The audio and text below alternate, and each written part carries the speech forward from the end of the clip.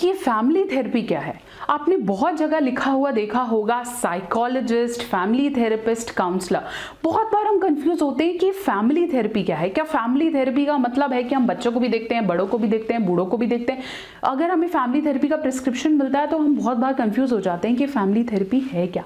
क्या मैं as a counsellor family therapist लिख सकती हूँ? क्या मैं अपने बायो में फैमिली थेरेपिस्ट अपडेट कर सकती हूँ? फैमिली थेरेपी फैमिली काउंसलिंग क्या मैरिज काउंसलिंग से अलग है? क्या वो बेसिक काउंसलिंग से अलग है। ये सारे ही टॉपिक्स और इनसे जुड़े क्वेश्चंस को लेकर आज मैं आपसे फिर जुड़ गई हूँ। नमस्कार, मैं हूँ डॉक्टर नेहा मेहता।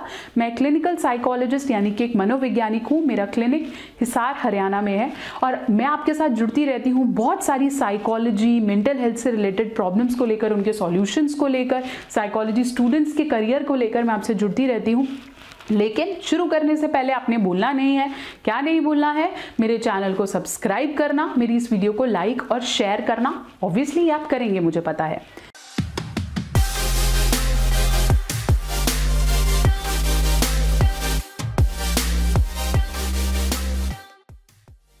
तो चलिए हम शुरू करते हैं कि आ, कैसे आप फैमिली थेरेपिस्ट बन सकते हैं और फैमिली थेरेपी होती क्या है। देखिए फैमिली थेरेपी वहाँ काम करती है जहाँ फैमिली इन्वॉल्व है। ज़रूरी नहीं है कि वो फैमिली में मैरिटल रिलेशन होना चाहिए या हम सब साथ में रहते हैं तो वही फैमिली होती है। फैमिली एक्सटेंडेड भी हो सकती है न्यूक्लियर भी हो सकती है जॉइंट भी हो सकती है। अगर आप हॉस्टल में चार लोग रहते हैं तो वो भी एक फैमिली का ही रूप है। फैमिली थेरेपी का मतलब है सिर्फ़ एक इंसान से नहीं, एक ग्रुप ऑफ़ इंडिविजुअल से बात करना।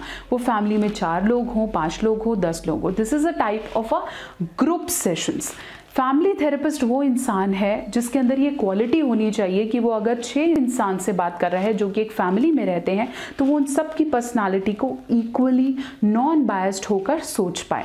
अब फैमिली थेरेपी अप्लाई कहाँ होती है? देखिए फैमिली थेरेपी वहाँ काम करती है। है ये एक रेगुलर काउंसलिंग मेथड लेकिन ये वहाँ अप्लाई होती है जहाँ फैमिली की डिस्टॉर्टमेंट शुरू होती है। फैमिली थेरेपीज फैमिली काउंसलिंग्स आपने बहुत ऐसी जगह देखा होगा जहाँ लीगल इशूज़ होते हैं, जैसे डॉरी केस है प्रॉपर्टी केस केसेस हैं या फाइट अमंग द ब्रदर्स है, ये बहुत कॉमन केसेस हैं जहाँ फैमिली के तोड़ने तक बात आ जाती है। जैसे मदर इन लॉ या डॉटर इन लॉ का कोई केस फैमिली में कम्युनिकेशन का इशू है, क्योंकि एक फैमिली का बैकग्राउंड है कम्युनिकेशन फैमिली बनती तब है जब कम्युनिकेशन हो। और अगर कम्युनिकेशन ही रुक गई, आप लड़ाइयों पर आ गए, आपके वर्बल्स हो गए, आप आर्ग्यू कर रहे हैं वॉयलेंस शुरू हो गया है, कोई अब्यूज शुरू हो गया है तो समझ लीजिए कि फैमिली डिस्टॉर्ट हो रही है। और ऐसे में सबसे ज़्यादा चाहिए फैमिली थेरेपीज फैमिली थेरेपीज पूरी फैमिली को कंसिडर करते हुए ऐसा होता है कि फैमिली थेरेपिस्ट बीच में बैठता है और जितने भी जने हैं वो आसपास बैठते हैं, सब अपना पॉइंट ऑफ़ व्यू और पर्सपेक्टिव रखते हैं टूवर्ड्स अ कॉमन प्रॉब्लम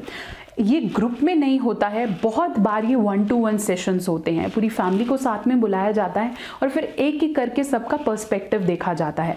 आपने ऐसा सुना होगा ना, पहले के ज़माने में पूरी महफिलें लग के प्रॉब्लम सॉल्व होती थी। चाचा बैठे हैं, मामा बैठे हैं, फूफा बैठे हैं, सब बैठते थे, सब प्रॉब्लम को सुनते थे, सब अपनी ओपिनियन देते थे और फिर एक कॉमन पॉइंट पर आते थे।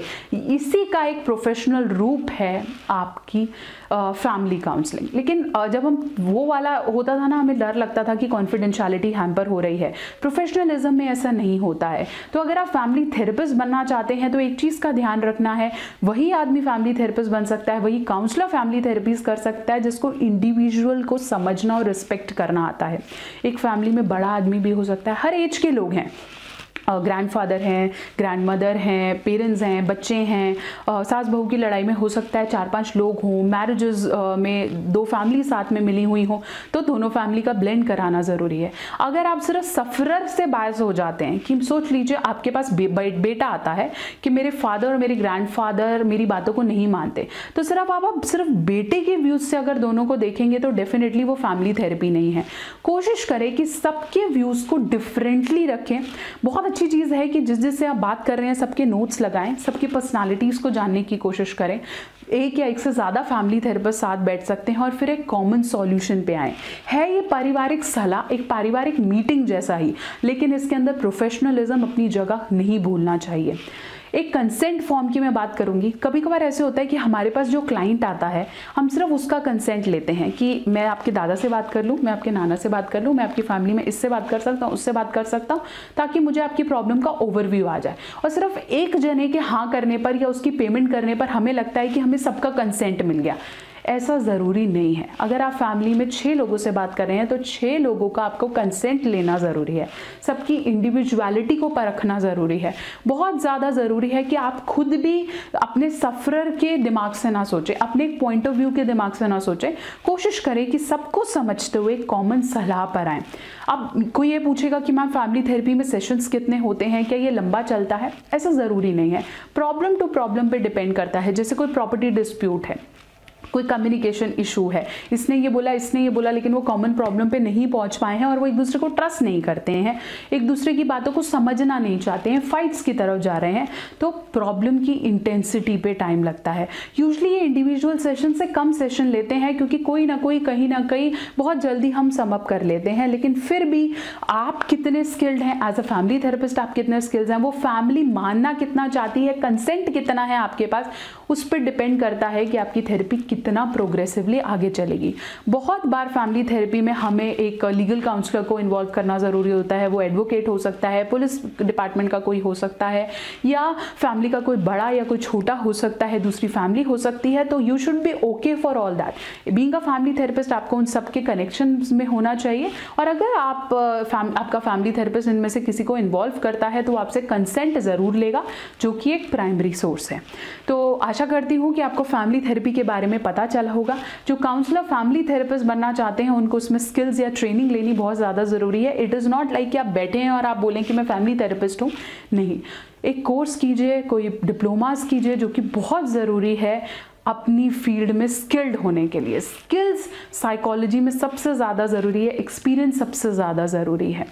तो इस वीडियो को आपने शेयर और लाइक करना नहीं भूलना है अपने फ्रेंड्स के साथ, अपने पार्टनर के साथ, अपनी फैमिली के साथ और मेरे चैनल को सब्सक्राइब करना नहीं भूलेंगे। मैं और बहुत सारी वीडियोस लेके आपके साथ जुड़ती रहूँगी, आपसे बात करती रहूँगी साइकोलॉजी के इश्यूज़ के बारे में।